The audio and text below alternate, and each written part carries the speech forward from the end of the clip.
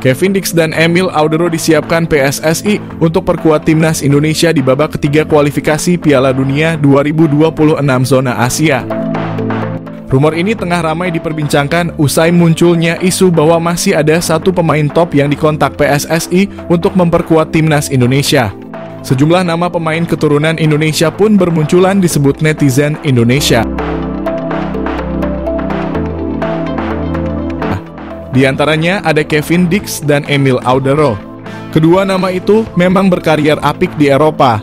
Kevin Dix diketahui jadi andalan klub Denmark FC Copenhagen dalam berlaga di berbagai ajang bergengsi, termasuk Liga Champions. Berkat kontribusinya, FC Copenhagen bahkan bisa melaju hingga babak 16 besar Liga Champions. Musim ini Beck berusia 27 tahun itu pun sudah mentas di 45 laga dalam berbagai kompetisi bersama FC Copenhagen. Kevin Dix pun bisa turut membukukan dua gol dan dua assist.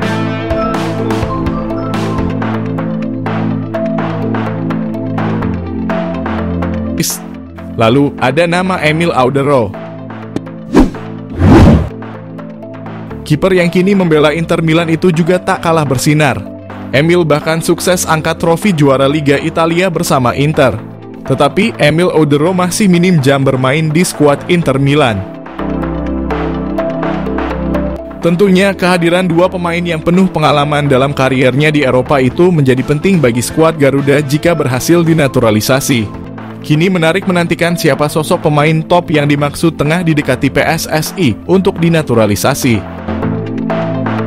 PSSI sendiri memang sedang gencar-gencarnya mencari pemain keturunan demi memperkuat timnas Indonesia.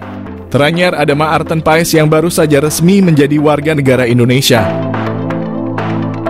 Ma Arten Paes jadi WNI dan bakal jadi andalan timnas Indonesia ternyata pernah bikin Lionel Messi mati kutu. Kekuatan timnas Indonesia bakal bertambah Ma Arten Paes secara resmi sudah menjadi warga negara Indonesia. Kiper berusia 25 tahun itu telah dilantik Kementerian Hukum dan HAM DKI Jakarta. Dalam proses pengambilan sumpah sebagai WNI, Maarten Paes yang memakai setelan formal seperti jas dasi hingga peci ditemani oleh Direktur Media, Komunikasi, dan Konten PSSI Eko Rahmawanto. Maarten Paes tumbuh di Belanda, darah Indonesianya mengalir dari neneknya yang lahir di Kediri, Jawa Timur, setelah resmi menjadi WNI, Paes tinggal menunggu panggilan dari Shin Tae-yong untuk masuk ke timnas Indonesia. Sosok Ma Arten Paes rupanya pernah membuat seorang Lionel Messi mati kutu. Superstar Argentina itu pernah berhadapan dengan sang kiper dalam laga uji coba awal tahun 2024. Sosok Ma Arten Paes bikin supporter FC Dallas berdecak kagum Bagaimana tidak, kiper naturalisasi timnas Indonesia itu menggagalkan dua peluang emas Lionel Messi, penyerang Inter Miami.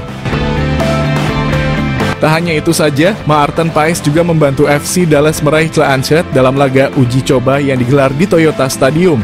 Kiper berdarah Belanda itu sukses memulangkan Inter Miami tanpa poin dan satu gol pun.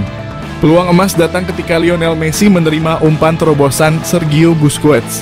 Sudah berhadapan satu lawan satu, mantan pemain Barcelona itu melepaskan tendangan keras yang masih bisa diadang Maarten Paes.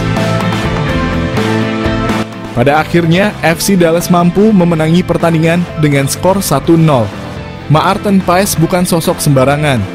Pemain yang bermain sebagai penjaga gawang itu saat ini memperkuat FC Dallas di Major League Soccer.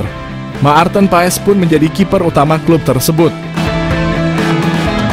Skenario Timnas Indonesia U23 lolos ke Olimpiade 2024. Mimpi Timnas Indonesia U23 untuk bermain di Olimpiade 2024 sedikit lagi menjadi kenyataan. Garuda Nusantara kurang selangkah lagi bisa bermain di kejuaraan bergengsi tersebut. Olimpiade itu sendiri akan digelar pada Juli hingga Agustus di Prancis. Indonesia rutin mengirimkan wakil-wakilnya di berbagai cabang olahraga di kejuaraan itu. Namun di cabur sepak bola, Indonesia sudah lama sekali tidak mengirimkan wakilnya. Terakhir kali timnas Indonesia tampil di Olimpiade terjadi pada 68 tahun yang lalu. Untuk zona Asia, kualifikasi untuk lolos Olimpiade digelar di Piala AFC U23 yang sedang berlangsung. Kebetulan timnas Indonesia berhasil lolos ke babak semifinal usai mengalahkan Korea Selatan. Lantas bagaimana skenario timnas Indonesia U23 bisa bermain di Olimpiade tersebut? Sebagai informasi, cabur sepak bola putra di Olimpiade hanya dibatasi untuk 16 tim saja. Tiket terakhir yang bisa diperebutkan dalam babak playoff antara wakil AFC melawan wakil CAF. Bagaimana Indonesia bisa lolos ke Olimpiade cabur sepak bola? Skenario pertama dan skenario ideal adalah timnas Indonesia U23 memenangkan babak semifinal Piala Asia U23. Jika skuad Garuda memenangkan pertandingan tersebut, maka Indonesia otomatis masuk jadi dua tim terbaik di turnamen ini. Mengingat ada tiga tiket untuk jatah wakil AFC, maka Indonesia dipastikan mendapatkan satu tiket. Jika timnas Indonesia U23 kalah di babak semifinal, timnas Indonesia U23 masih bisa lolos ke Olimpiade. Syaratnya mereka harus memenangkan perebutan juara ketiga nanti. Perebutan juara tiga itu juga menentukan siapa tim terakhir yang mendapatkan tiket ke Olimpiade. Jadi masih ada harapan bagi Indonesia jika kalah di babak semifinal Piala Asia U23.